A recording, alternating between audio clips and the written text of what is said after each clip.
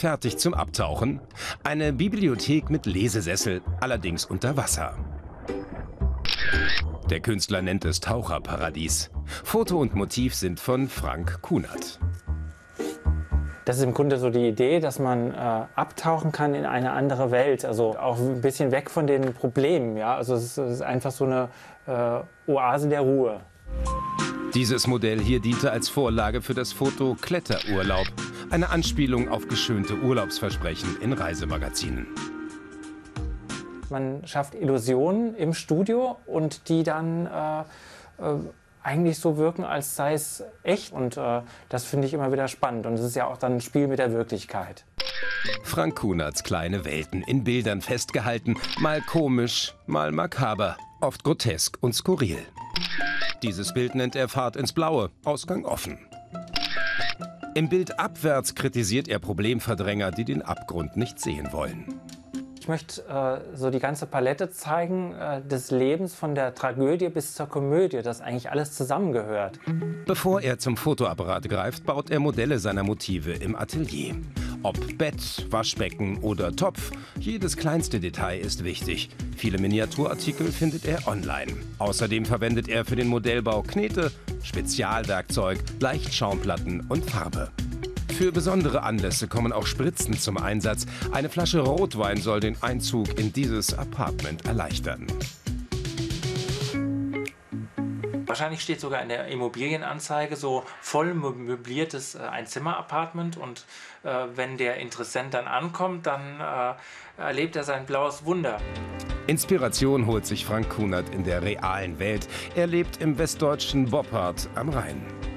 Unterwegs interessiert ihn weniger das Schöne, vielmehr alles, an dem die Zeit ihre Spuren hinterlassen hat. 1963 in Frankfurt am Main geboren, absolviert er nach dem Abitur eine Ausbildung zum Fotografen. Nach ersten Stationen als Werbefotograf beginnt er Mitte der 1990er Jahre mit seinen kleinen Welten, wie er sie nennt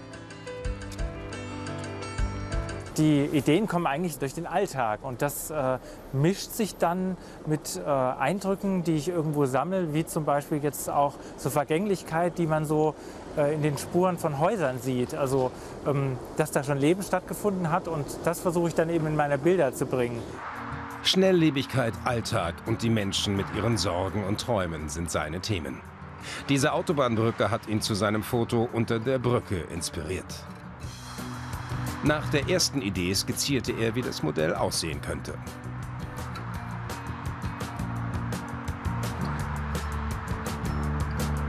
Also wir sind hier an meiner Lieblingsautobahn-Brücke und äh, hier komme ich öfter mal lang und mir kam die Idee, dass es ja in ganz Deutschland Wohnraummangel, gerade in den Ballungszentren gibt.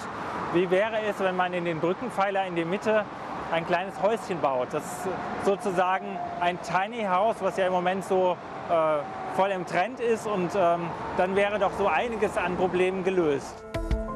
Zurück im Atelier arbeitet der 54-Jährige an seiner Lösung für den Wohnraummangel.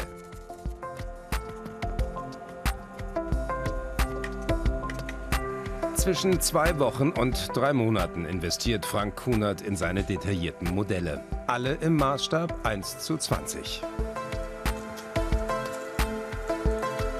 Also manchmal frage ich mich auch, warum mache ich mir so, so viel Arbeit? Man könnte das ja mal viel einfacher haben mit Photoshop. Aber ich glaube, es ist der Weg. Es ist der Weg auch, die Dinge in die Hand zu nehmen, ähm, ihnen Leben zu geben.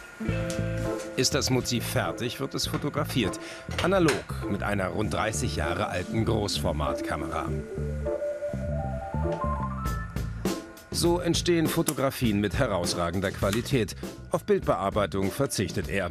Das Ergebnis veröffentlicht Frank Kunert in Bildbänden. Sein aktuelles Buch Lifestyle ist nach Wunderland und Verkehrte Welt das dritte Werk des Künstlers.